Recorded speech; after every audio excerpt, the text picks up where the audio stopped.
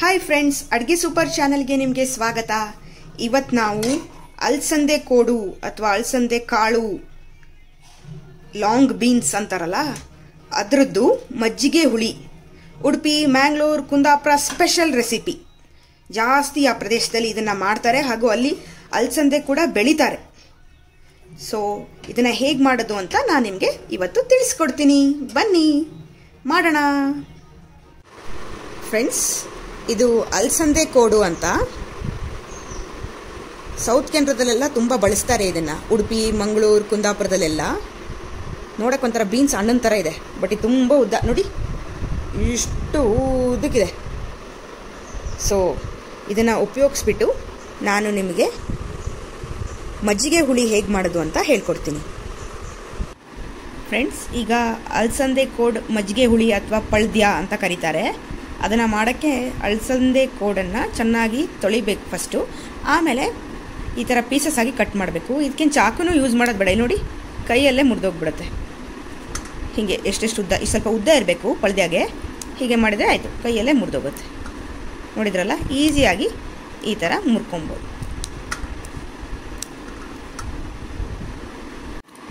Friends ಇಲ್ಲಿ ನೋಡಿ ಅಲ್ಸಂದೆ code ಏನಾದರೂ ಬೆಳೆದಿದ್ರೆ ಅದರೊಳಗೆ ಈ ಥರ ಬೀಜ ಇರುತ್ತೆ.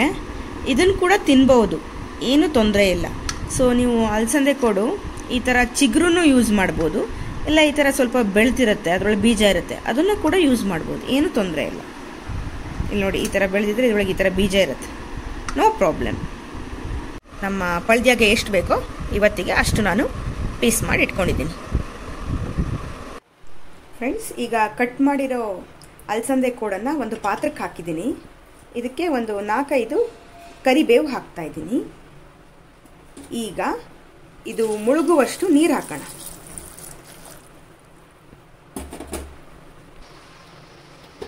ಹಾಗೆ ಒಂದು ದೊಡ್ಡ ಚಮಚ ಫುಲ್ಲು ಉಪ್ಪು ಹಾಕೋಣ. ಈಗ ಇದನ್ನು ನಾನು ಒಂದು ಎಂಟು ನಿಮಿಷ ಬೇಯಿಸ್ತೀನಿ. ಈ ಹೋಳೆಲ್ಲ ಚೆನ್ನಾಗಿ ಬೇಯಬೇಕು. ಕುಕ್ಕರಲ್ಲಿ ಇಟ್ಟರೆ ಏನಾಗುತ್ತೆ? ಒಂದೇ ಬಿಸಿಲಿಗೆ ಇದೆಲ್ಲ ಪಚಕ್ಕಂತ ಆಗ್ಬಿಡುತ್ತೆ. ಮೆತ್ತ ಮೆತ್ತಗೆ ಆಗ್ಬಿಡುತ್ತೆ. ಅದಕ್ಕೋಸ್ಕರ ಅಲಸಂದೆ ಕೋಡನ್ನು ಕುಕ್ಕರಲ್ಲಿ ಬೇಯಿಸಲ್ಲ. ಈ ಥರ ಹೊರಗಡೆನೇ ಬೇಯಿಸ್ಬೇಕು. ಒಂದು ಎಂಟು ನಿಮಿಷದಲ್ಲೇ ಆಗ್ಬಿಡುತ್ತೆ. ಈ ಥರ ಮುಚ್ಚಿಟ್ಬಿಡುತ್ತೆ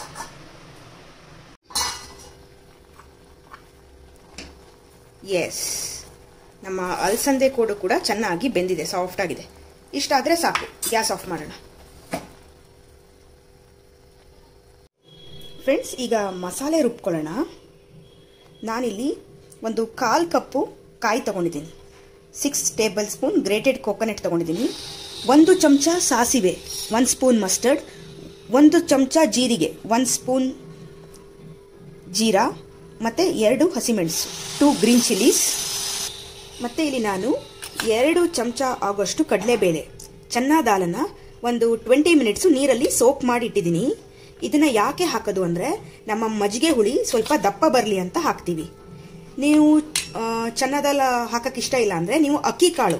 ಅಕ್ಕಿ ಕಾಳನ್ನು ಕೂಡ ಈ ಥರ ಒಂದು ಹದಿನೈದು ನಿಮಿಷ ನೆನೆಸಿಟ್ಬಿಟ್ಟು ಯೂಸ್ ಮಾಡ್ಬೋದು. ಅದರಿಂದನು ಕೂಡ ನಮ್ಮ ಪಳದ್ಯ ಅಥವಾ ಮಜ್ಜಿಗೆ ಹುಳಿ ದಪ್ಪ ಆಗುತ್ತೆ. ಸೊ ಇಲ್ಲಿ ನಾನೀಗ ಎರಡು ಸ್ಪೂನ್ ಆಗಷ್ಟು ಕಡಲೆ ಬೇಳೆ ಚೆನ್ನ ದಾಲನ್ನು ನೀರಲ್ಲಿ ನೆನೆಸಿಟ್ಕೊಂಡಿದ್ದೀನಿ. ಹಾಗೆ ರುಬ್ಬೋಕೆ ಸ್ವಲ್ಪ ನೀರು ಕೂಡ ತಗೊಂಡಿದ್ದೀನಿ ವಾಟರ್ ಫ್ರೆಂಡ್ಸ್ ಈಗ ಎಲ್ಲ ಐಟಮನ್ನು ಒಟ್ಟಿಗೆ ರುಬ್ಬಬೇಕು coconut mustard jeera, green chillies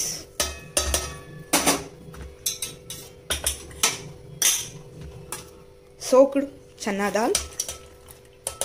Along with water I have added ನೀರು ಸಮೇತ ಹಾಕಿದ್ದೀನಿ.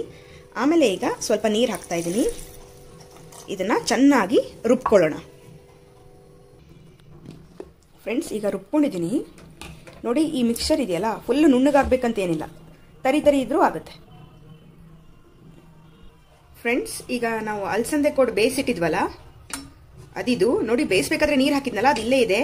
ಆ ನೀರನ್ನು ಕೂಡ ಯೂಸ್ ಮಾಡ್ಕೊಳ್ಳೋಣ, ಅದೇನು ವೇಸ್ಟ್ ಅಲ್ಲ ಅದು. ಸೊ ಈಗ ನಾವು ಬೇಯಿಸಿಟ್ಟಿದ್ದ ಅಲಸಂದೆ ಕೋಡಿಗೆ ರುಬ್ಕೊಂಡಿದ್ದ ಮಿಶ್ರಣವನ್ನು ಆ್ಯಡ್ ಮಾಡೋಣ. ಈಗ ಒಂದ್ಸಲಿ ಚೆನ್ನಾಗಿ ಮಿಕ್ಸ್ ಮಾಡೋಣ. ಉಪ್ಪು ಹಾಕೋದು ಬೇಡ, ಯಾಕಂದರೆ ನಾನು ಅಲಸಂದೆ ಕೋಡು ಬೇಯಿಸ್ಬೇಕಾದ್ರೇ ಉಪ್ಪು ಹಾಕಿದ್ದೀನಿ. ಯಾಕಂದರೆ ಹೋಳೆಲ್ಲ ಉಪ್ಪು ಹಿಡ್ಕೊಳ್ಳಿ ಅಂತ. ಸೊ ಮತ್ತೆ ಏನು ಉಪ್ಪು ಹಾಕೋ ಅವಶ್ಯಕತೆ ಇಲ್ಲ. ಈಗ ಇದನ್ನು ಚೆನ್ನಾಗಿ ಕುದಿಸ್ಬೇಕು. ಫ್ರೆಂಡ್ಸ್ ಮೀಡಿಯಂ ಫ್ಲೇಮಲ್ಲಿ ಇಟ್ಟು ಕುದಿಸ್ತಾ ಇದ್ದೆ. ಈಗ ನೋಡಿ, ನಮ್ಮ ಮಜ್ಜಿಗೆ ಹುಳಿ ಚೆನ್ನಾಗಿ ಕುದ್ದಿದೆ. ಈಗ ನಾವೇನು ಮಾಡಬೇಕು? ಒಂದು ಲೋಟ ಮಜ್ಜಿಗೆ ಹಾಕ್ತೀನಿ. Two fifty M L buttermilk curd ಅಥವಾ ಬಟರ್ ಮಿಲ್ಕನ್ನು ಯೂಸ್ ಮಾಡಿ. ಈಗ ಒಂದು ಲೋಟ ಮಜ್ಜಿಗೆ ಹಾಕಿದ್ದೀನಿ. ಈಗ ಒನ್ ಮಿನಿಟ್ ಇದನ್ನು ಕುದಿಸ್ತೀನಿ ಅಷ್ಟೇ ಜಸ್ಟ್ ಒನ್ ಮಿನಿಟ್ ಒಂದು ಕುದಿ ಬರಬೇಕದು. ಫ್ರೆಂಡ್ಸ್ ಈಗ ನಾವು ಮಜ್ಜಿಗೆ ಆ್ಯಡ್ ಮಾಡಿದ್ದೀವಲ್ಲ ಸೊ ಈ ರೆಸಿಪಿಗೆ ಹುಣಸೆ ಹಣ್ಣು ಲಿಂಬೆಹಣ್ಣು ಏನೂ ಬೇಕಾಗಿಲ್ಲ. ಮಜ್ಜಿಗೆಯಲ್ಲಿರೋ ಹುಳಿನೇ ಸಾಕು. ಇದು ಏನು ಖಾರ ಖಾರ ಥರ ರೆಸಿಪಿ ಅಲ್ಲ, ಏನಲ್ಲ. ಇದೊಂಥರ ಕೂಲ್ ರೆಸಿಪಿ ಹೊಟ್ಟೆಗೂ ಕೂಡ ಕೂಲ್ ಆಗುತ್ತೆ ಇದನ್ನು ತಿಂದರೆ.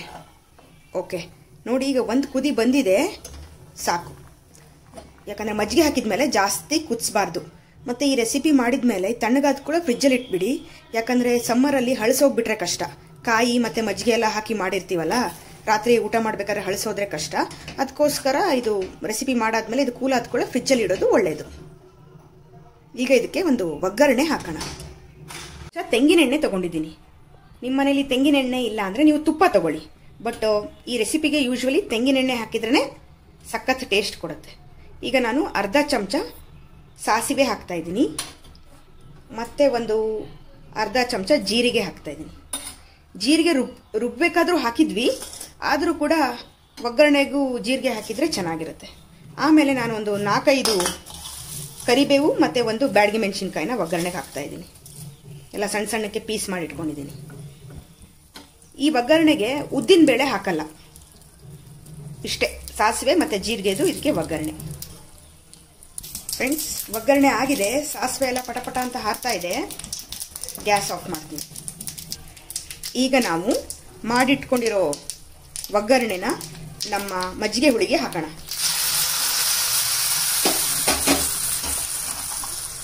ಒಂದ್ಸಲಿ ಚೆನ್ನಾಗಿ ಮಿಕ್ಸ್ ಮಾಡೋಣ. ಹಾಗೆ ಸ್ವಲ್ಪ ಕೊತ್ತಂಬರಿ ಸೊಪ್ಪು ತೊಗೊಂಡಿದ್ದೀನಿ. ಸಣ್ಣ ಸಣ್ಣಕ್ಕೆ ಕತ್ತರಿಸಿದ್ದೀನಿ. ಇದು ಆಪ್ಷನಲ್ ಕೆಲವ್ರು ಹಾಕ್ತಾರೆ, ಕೆಲವ್ರು ಹಾಕಲ್ಲ. ಸೊ ಇದು ಗಾರ್ನಿಷಿಗೆ ಕೊತ್ತಂಬರಿ ಸೊಪ್ಪು ಹಾಕಿದ್ದೀನಿ. ರೆಡಿಯಾಗಿದೆ. ಇದನ್ನು ನೀವು ಖಂಡಿತ ನಿಮ್ಮ ಮನೆಯಲ್ಲಿ ಮಾಡಿ, ಬಿಸಿ ಅನ್ನದ ಜೊತೆ ತಿನ್ನಿ, ಸಖತ್ತಾಗಿರುತ್ತೆ. ಈ ರೆಸಿಪಿ ನಿಮಗೆ ಇಷ್ಟ ಆಗಿದ್ದಲ್ಲಿ ಲೈಕ್ ಮಾಡಿ ಶೇರ್ ಮಾಡಿ ಕಮೆಂಟ್ ಮಾಡಿ. ಹಾಗೂ ನೀವು ಇನ್ನೂ ನನ್ನ ಚಾನಲನ್ನು ಸಬ್ಸ್ಕ್ರೈಬ್ ಆಗಿಲ್ಲ ಅಂದರೆ ದಯವಿಟ್ಟು ಸಬ್ಸ್ಕ್ರೈಬ್ ಆಗಿ. Thank you